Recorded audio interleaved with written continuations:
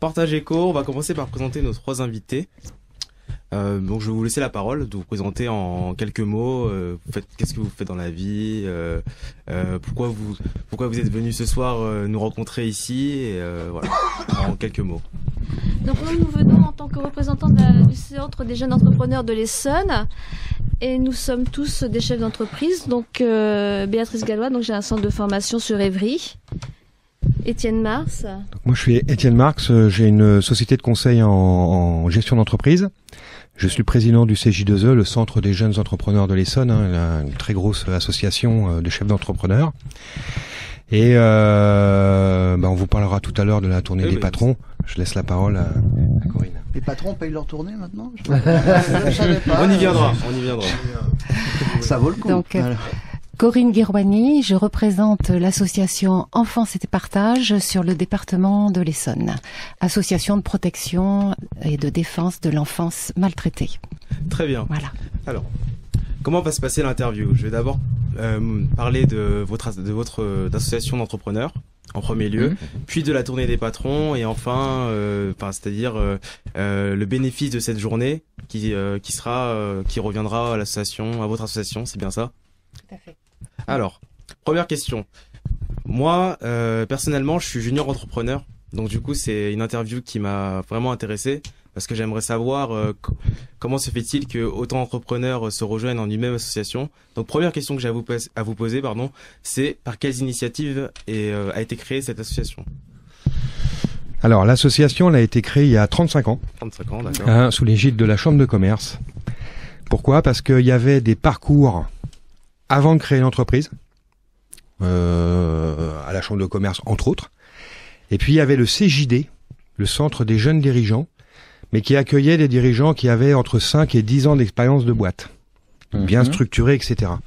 Et à l'intérieur, il y a un gap où euh, ben, on se retrouve tous euh, chefs d'entreprise. On l'a jamais été, on l'a pas appris à l'école, on l'a pas appris même dans les grosses boîtes avec des gros services, etc avec multimétier. C'est pas seulement euh, notre compétence euh, que l'on vend. On n'est pas commercial, on n'est pas gestionnaire et, j'en passe, c'est des meilleurs.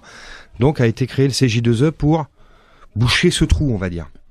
Donc l'idée, c'est euh, d'accompagner les jeunes créateurs alors jeunes euh, créateurs, hein, ça peut être des gens de 55 ans euh, qui, qui créent donc qui sont jeunes Très créateurs.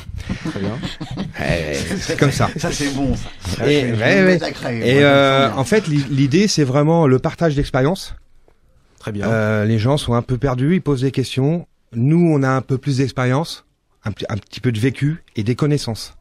Donc on oriente, on répond et on oriente les gens euh, pour aller plus vite et euh, tous les écueils euh, du, début de l'entreprise. Très bien. Et eh ben justement, vous parlez d'expérience. Donc avant de parler de, vos principales missions, j'aimerais savoir euh, votre vécu en tant qu'entrepreneur. Comment vous vivez maintenant en 2016 Qu'est-ce qui a changé en 30 ans, c'est ça, 35 ans de création ah Qu'est-ce qui a changé Je Je vais pas pouvoir parler euh, sur les 35 ans, parce que j'y étais pas. Il y a peut-être beaucoup plus de partage actuellement au niveau des réseaux. Les gens échangent, font des réunions entre entrepreneurs, ce qu'il n'y avait pas euh, auparavant, je pense. Oui, il y a 35 ans, il n'y avait rien. Oui. Il y avait la chambre des commerces. Donc, euh, mhm. j'ai vu que vos missions, ce n'étaient pas les mêmes dans les années 80 et à présent. C'est-à-dire que vous faites de la formation, vous avez fait de la formation, euh, des relations extérieures, euh, l'assistance technique pour euh, l'analyse de viabilité des dossiers, bon bref, des détails. Et j'ai vu qu'il y a eu une transition à partir de, des années 90. comment on explique cela? Vous êtes diversifié par rapport au monde que vous avez connu? Alors, 90, je vois pas bien la transition, mais bon, l'évolution, je peux parler de l'évolution qu'il y a eu. Hein. Effectivement, au départ, au départ, euh, c'était juste se, se rencontrer autour d'un éventuellement un dîner ou un, ou un déjeuner pour euh, échanger. Puis après, on a essayé de professionnaliser un petit peu euh, euh la sauce en apportant d'autres services, hein, c'est-à-dire des groupes d'accompagnement, de la formation, et puis pas récemment, mais depuis quelques années, Là, on vit dans le monde dans lequel on est, hein, c'est-à-dire il faut communiquer, il faut créer, il faut inventer. Il faut, même il faut même communiquer sur quelque chose où il n'y a rien à dire, quoi. Pas vous, pas vous, hein, mais les politiques, ils aiment bien faire ça. Oui. Bah nous, on, on évite, on essaye d'être pratico-pratique, hein, parce que chef d'entreprise dans une toute petite boîte, si on n'est pas Ah, bah oui, pratico-pratique, on on n'existe pas. Euh, donc euh, effectivement, on a développé euh, des outils de communication, et puis on a essayé d'innover, d'où la tournée des patrons. Oui. Hein, euh, faire quelque chose, parce que les associations, il y en a plein. Il n'y a pas de concurrence, hein, il n'y en a pas une meilleure que l'autre. Euh, généralement, elles ont un, un objectif local ou un objectif métier. euh, euh, Il n'y a, il y a aucun souci entre nous. Mais euh, il faut quand même se, se distinguer et surtout, il faut sortir un petit peu du cadre. Parce que toutes les manifestations, quelque part, elles sont professionnelles. Et on s'est dit, ben tiens, pourquoi on n'irait pas courir? Euh, Et puis du coup, ben voilà, on a associé les autres réseaux. Et... On en, on en parlera inventé tout à l'heure justement de, de, cette, de, cette- de cet événement. On- donc très bien. Donc j'imagine que euh, pour que ça marche autant, euh, vous devez avoir différents appuis financiers, vous avez des sponsors, sans doute des consultants. Comment vous vous organisez de ce point de vue-là? Pour l'association ou la tournée des Pour l'association. Je, je suis encore sur l'association. Ben, pour l'association, en fin de compte, euh, nous avons que les, enfin, nous avons surtout les, les adhésions des, des- des personnes qui adhèrent à, à l'association. On a quand même le soutien de la chambre de commerce euh, qui nous met à Si, disposition une assistante.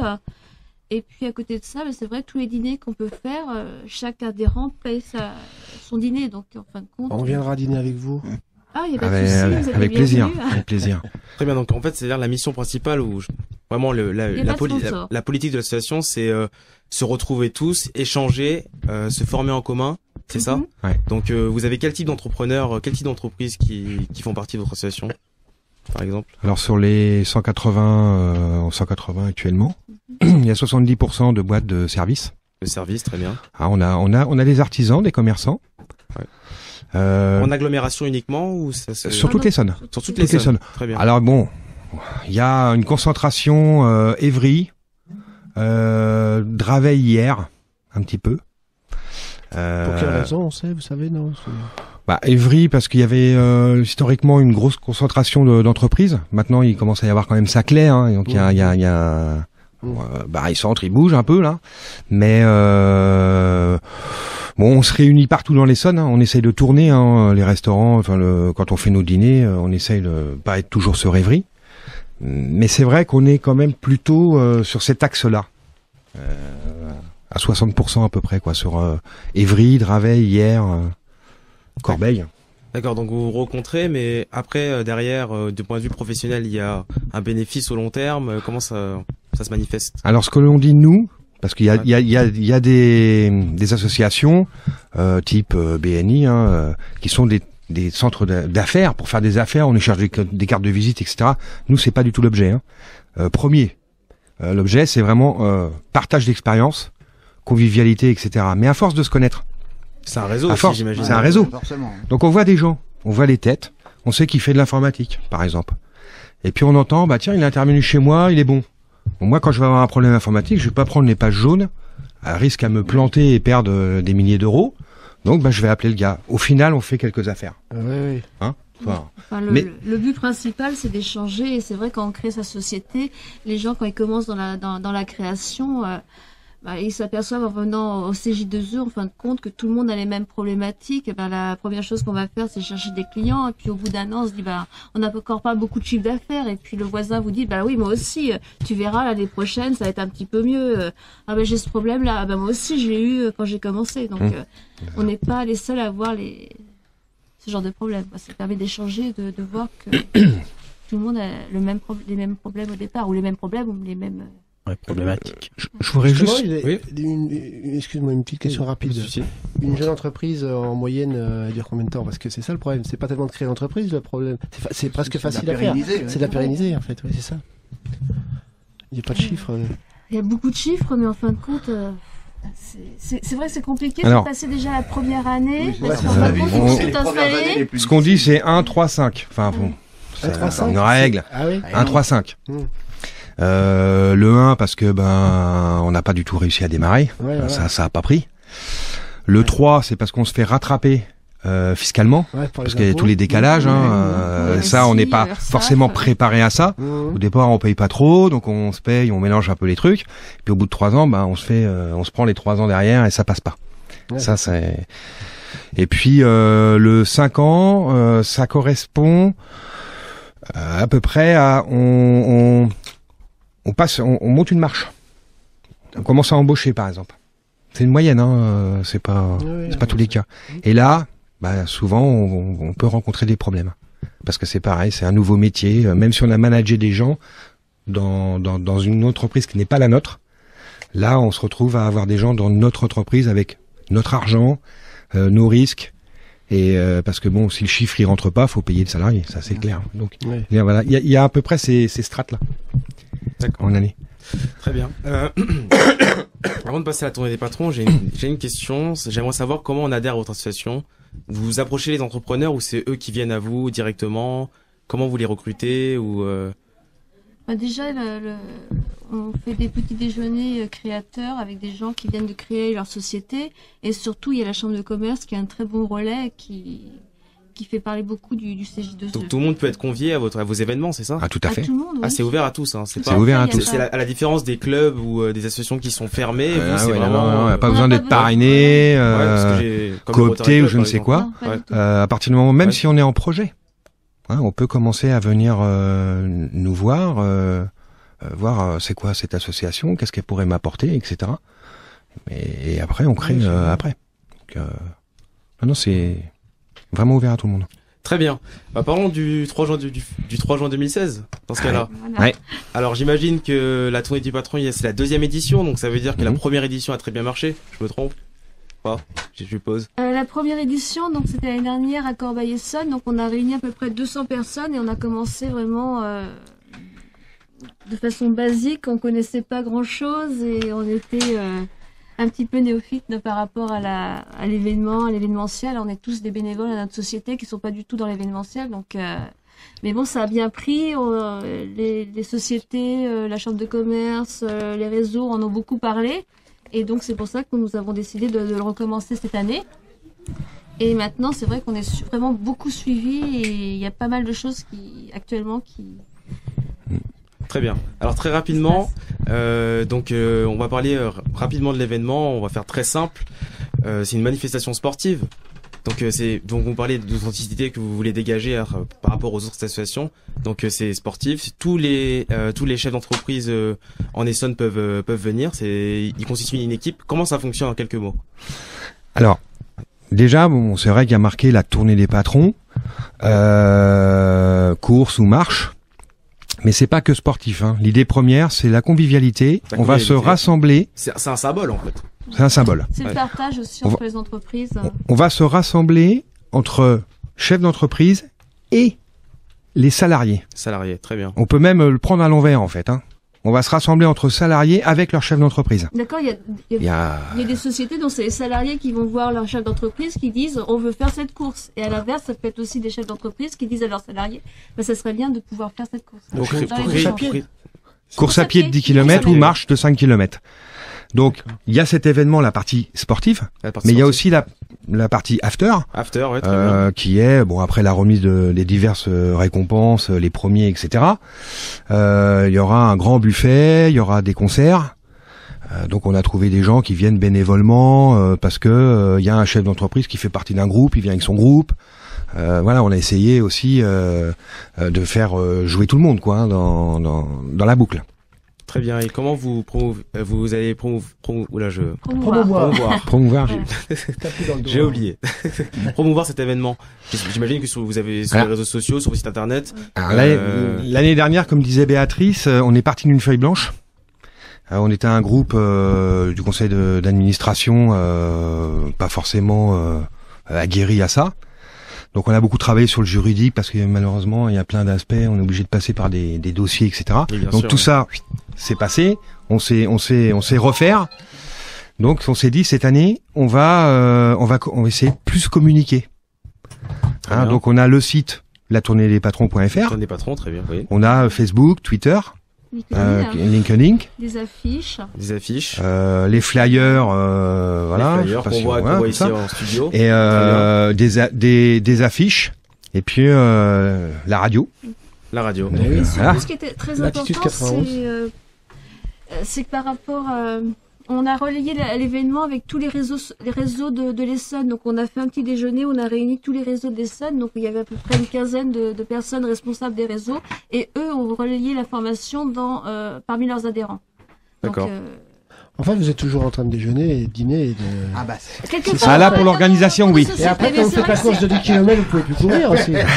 c'est pour la digestion. C'est vrai, c'est vrai que pour, pour une, une l'organisation d'une course comme ça, ça nécessite effectivement Oui. beaucoup d'investissement et beaucoup de temps euh, bénévolement, hein, je répète. Et, et pour reprendre quand même sur, euh, donc il y a la convivialité Oui. et euh, essayer de montrer une autre image aussi du chef d'entreprise, hein, parce que on entend beaucoup de négatifs quand même à la radio, des grosses boîtes, euh, des salaires, euh, je ne sais quoi, alors que nous, euh, c'est c'est pas du tout le quotidien d'une petite boîte. Hein, on se paye des fois moins que les salariés. Il n'y a pas de grosse boîte dans votre association Non. Non, non. D'accord. Euh, euh. Et, et, excusez-moi. Il y a pas de souci. Euh, donc on veut montrer cette image-là, une image un peu sociétale. Et cette année, on rajoute, alors Oui. je sais pas comment dire, de la générosité, de l'éthique, euh, je sais pas. Euh, on s'est un petit peu, on a pris le risque, mais ça va marcher puisqu'on a eu nos sponsors, euh, de reverser à une association. Oui, Donc ça veut dire qu'il faut qu'on fasse du bénéfice parce que sinon.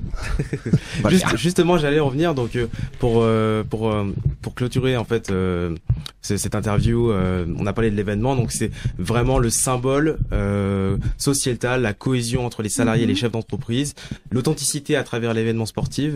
Et euh, on espère que justement, ça sera une très bonne journée. Ouais. Ça sera une très bonne Puis, journée. euh, et- pour, euh, Et justement, euh, on va parler euh, de la finalité de cet événement avec euh, Corinne, votre association. Alors, est-ce que rapidement, vous pouvez nous expliquer votre association et euh, voilà. Alors, bien. je vais essayer rapidement. Donc, euh, comme je vous le disais, euh, Promptement. voilà, promptement. Voilà. Tout à fait. Euh, donc Enfance et Partage, association donc de protection et de défense de l'enfance maltraitée, euh, qui euh, existe depuis 40 ans sur le plan national et depuis euh, 30 ans sur euh, l'Essonne. Et donc il y a des comités locaux répartis dans toute la France, dont le comité de l'Essonne, qui est basé bien. donc à Draveil À Draveil, et ouais. qui a euh, la chance de d'être euh, le bénéficiaire Le de bénéficiaire de voilà de l'événement du 3 juin. Voilà.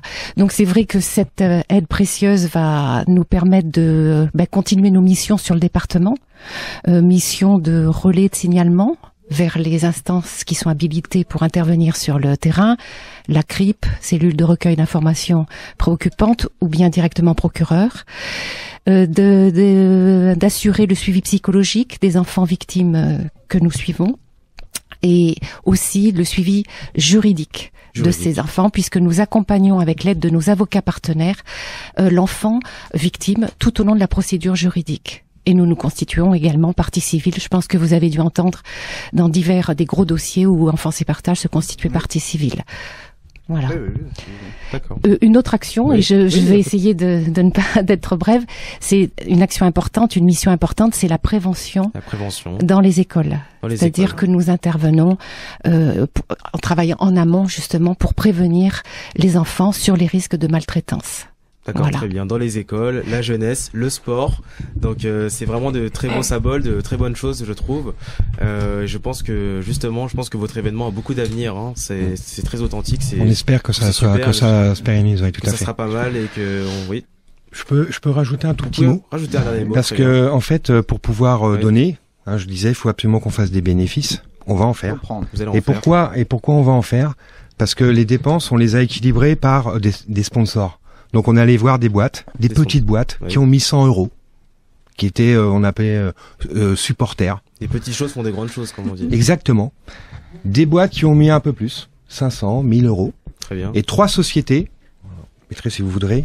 La, C- la CGPME 91, c'est le syndicat des petites entreprises, hein, PME, des PME euh, 91. Euh, Cogesur, un, un courtier estonien, et euh, la société Faribo de Draveil, qui eux ont mis euh, le paquet. Et ça nous, ça nous a franchement bien aidé. Ça nous a permis d'équilibrer. Ça veut dire que toutes les dépenses sont couvertes. Et à partir d'aujourd'hui, tous ceux qui vont venir et qui vont payer 11 euros, 11 euros pour courir, marcher, manger et écouter de la musique, c'est pas trop cher. Tous ceux qui vont venir, eh ben, ça va aller à Enfance et Partage. Donc, il faut vraiment venir, venir, venir. Donc pour terminer 500. Sur, sur, sur ces belles phrases et ces bonnes actions, euh, un dernier mot sur où est-ce qu'on peut vous retrouver, où est-ce que l'événement commence? Euh, Alors, nous retrouver physiquement, hein, Oui, euh, donc le, le 3 juin, 3 juin 2016. à Draveil, sur la base de, le- de loisirs. Base de loisirs. I- I- Île aux loisirs, ça s'appelle maintenant. Et on a la chance, l'UCPA euh, nous privatise l'espace baignade. Euh, donc on aura euh, 5000 mètres carrés pour faire euh, la fête, euh, tous ensemble. Donc course. À Très 18h30, euh, after run à partir de 19h30, 20h. Donc même les personnes qui peuvent pas venir à la course, les patrons qui peuvent pas venir à la course, peuvent venir bien sûr à Ils l'after peuvent toujours run. participer à l'événement. Ah oui, Très bien. Voilà. Je vous remercie. ben, Merci. c'est nous qui Merci vous vous. remercions. Merci. C'est très gentil de nous accueillir. Très bien.